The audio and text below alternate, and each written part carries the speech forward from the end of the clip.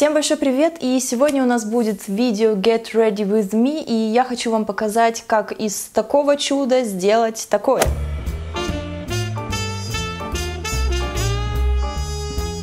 Мои последние видео были больше в каком-то романтическом и нежном стиле. Это были романтические образы, какие-то нежные макияжи. И мне как-то это все поднадоело. Все-таки я не могу все время оставаться романтичной и нежной и так далее. И поэтому я сегодня хочу накраситься поярче и показать вам этот лук. Вдохновил меня на это все Инстаграм. И если там вы зарегистрированы, то я думаю, вы знаете, о чем идет речь. Там все время плавают и летают какие-то тренды на макияж, какие-то тренды на прически. И насмотревшись всего этого, я решила воссоздать или создать что-то наподобие. Итак, если вы хотите увидеть мое перевоплощение, то оставайтесь на связи. Ну и первым делом я начинаю свой макияж с базы под тональную основу. Эта база у меня от Миша под названием Биби Бума. Кстати, сегодня не будет закадрового голоса решила пообщаться с вами вживую, так сказать. Далее зеленым корректором я скрываю какие-то свои покраснения. Это пятна от прыщей. У меня сейчас на данный момент никаких прыщиков нет, но эти пятна... А далее я приступаю уже к тональной основе. Ее, кстати, я показывала в своих фаворитах весны жидкая тональная основа от Миша. И буду наносить ее влажным спонжиком.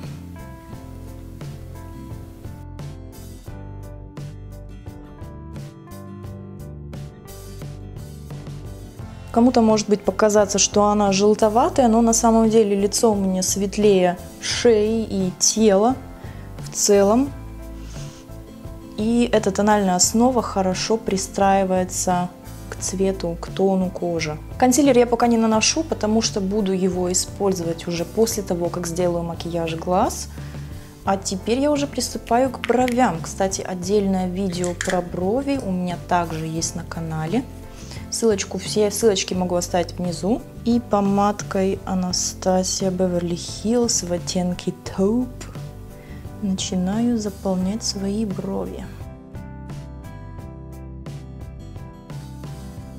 Кстати, в большинстве макияжев в Инстаграме вы можете встретить четкие, ярко выраженные брови. Но я их заполняю так, как я заполняю их всегда. Итак, брови мы обозначили. Теперь я приступаю уже к глазам и начинаю наносить базу под тени. Это у меня тени от Maybelline Color Tattoo 24 часа. Мне, кстати, кто-то из вас посоветовал использовать эти тени в качестве основы как бюджетный вариант MAC Soft Oka. И знаете, просто супер вещь. Спасибо вам большое. Сегодня я буду использовать палетку Lorac Pro. И первый оттеночек из этой палетки я буду брать под названием Taupe. Я его уже здесь протерла до дыр такой коричневый оттеночек. И наношу его в складку века. А теперь я нанесу оттеночек Sable. Это третий оттенок справа в этой палетке. Это уже более такой темный коричневый оттенок. И с ним нужно, конечно же, работать аккуратненько. Наношу оттенок тауп на нижнее веко. Растушевочной пушистой кистью я беру оттенок Mauve. Он имеет такую розовую дымку. Розовую дымку. Ну, в общем, пыльная роза это какая-то. И это четвертый оттенок справа. И буду его наносить совсем легонечко поверх складки века.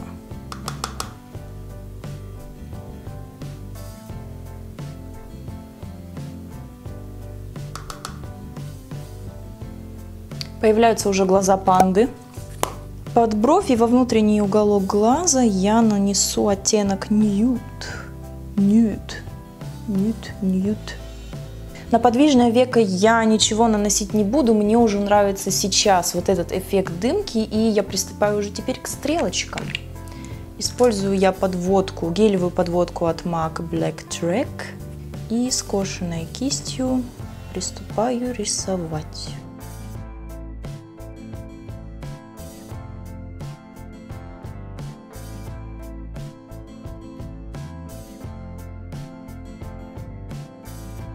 Теперь я подвела себе глаза, и зачастую в инстаграмных макияжах встречаются ну просто ярко выраженные стрелочки. Очень, кстати, аккуратные и красивые, но все же э, они ярко выраженные. Я как бы нарисовала себе стрелки, которые я рисую всегда, если делаю себе яркий макияж. В принципе, без стрелочек у меня мало когда что обходится. И мы приступаем уже сейчас красить ресницы. Буду красить я только верхние, я почему-то люблю красить только верхние, не знаю почему. Не могу вам это объяснить толком. Кроме этого, я буду использовать еще и накладные реснички. Я их разрезала напополам, и они у меня будут как половинчатые.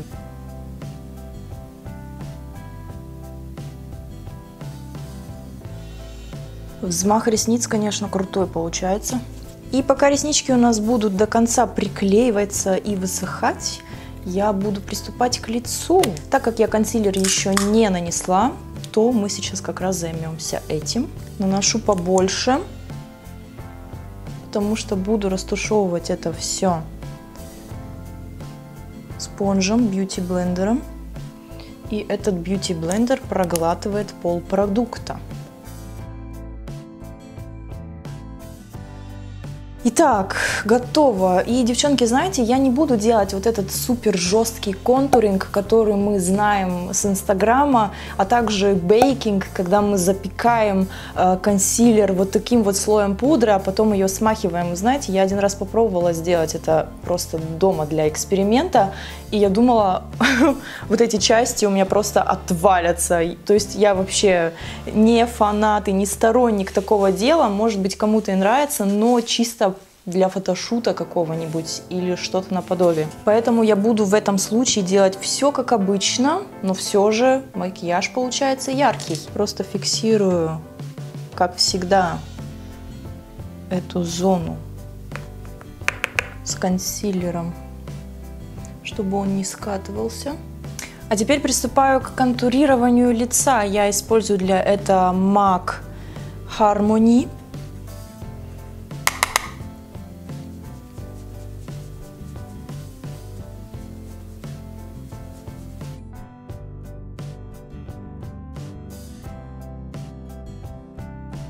От Berry я буду использовать в качестве румян палетку от Заива Nude Spectrum и вот этот 040 оттеночек.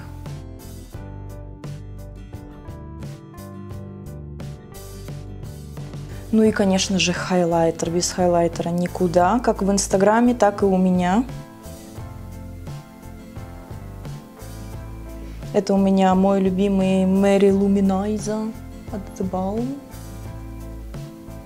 Ну и мы подошли уже к самому интересному лично для меня, и это помада. Я буду использовать типичную для Инстаграма помаду. Это жидкая матовая помада, яркая помада, конечно же. И это у меня помада от Gerard Cosmetics под названием Invasion.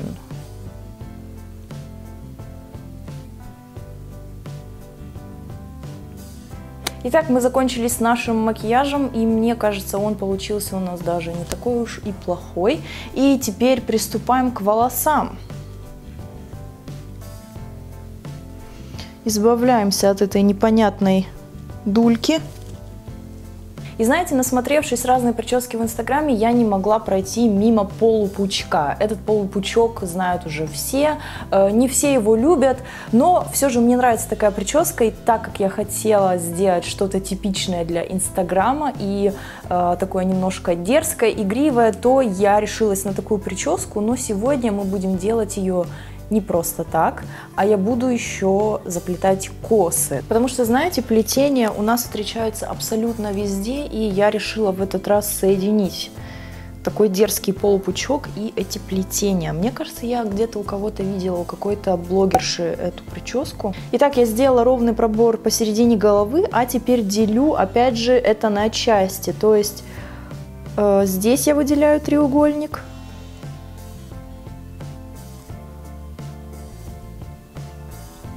А теперь из этого треугольника я начинаю плести французскую косу и подхватывать пряди под низ. Выделяем очень тоненькую прядь и начинаем плести. На самом деле это довольно такая кропотливая работа, но коса у нас получается все-таки не длинная, поэтому ее можно быстро заплести.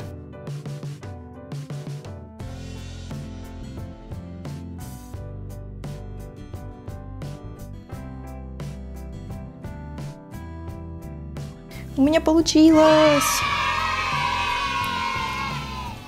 Закрепляю первую косу резиночкой. Теперь приступаем ко второй. Я наконец-то заплела эти две несчастные косы. На самом деле плетутся они довольно кропотливо. У меня руки устали, но все же, если постараться, все должно получиться. Ну и теперь у нас получились две вот эти косички, которые мы будем собирать в одну. А также ко всему этому мы будем подхватывать еще немного волос с затылка. Не самого затылка, тут с макушки, переходя в затылок, чтобы из этого образовать пучок. Собираем все в один хвост.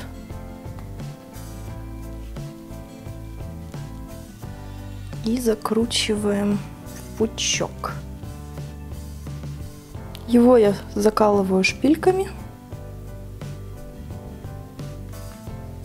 И вот так вот интересно у нас это все получается. То есть пучок не должен быть ровненький и аккуратненький. Как мы все знаем, пучки сейчас носят самые, что ни на есть, растрепанные.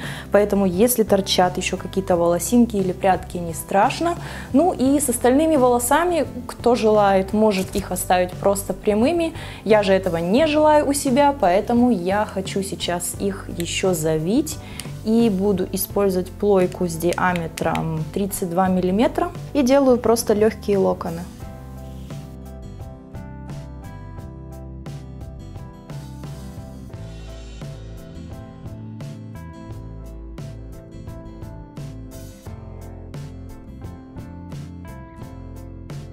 И вот что у нас получается. Мне кажется, очень даже прикольный образ. И сейчас для полного счастья я хочу еще переодеться. Ну и вот он, конечный образ для Инстаграма. Мне на самом деле понравилось поэкспериментировать и понравилось примерять его на себя. Почему бы и нет? Мне кажется, я бы в нем так сама походила. Ну и, конечно же, макияж и прическа делают огромную разницу. По крайней мере, у меня. Я без макияжа выгляжу совсем по-другому. И вы много раз могли уже наблюдать за этим этим. При помощи макияжа я так могу подчеркнуть свои достоинства. Это накрасить ресницы, подвести глазки и скрыть недостатки, почему бы и нет. И я думаю, я не одна такая, поэтому я надеюсь, что вам понравилось это видео. Может быть, кому-то понравилась только прическа, кому-то только макияж. Пишите об этом в комментариях и поддержите меня пальчиками вверх, если вам действительно понравилось это видео, чтобы я знала, что не зря здесь проводила такой эксперимент и заламывала руки, плетя эти косы, но все же это было весело. Итак, на этом у меня все. Мы увидимся с вами в следующих видео. Всем большое спасибо за внимание. Всем пока!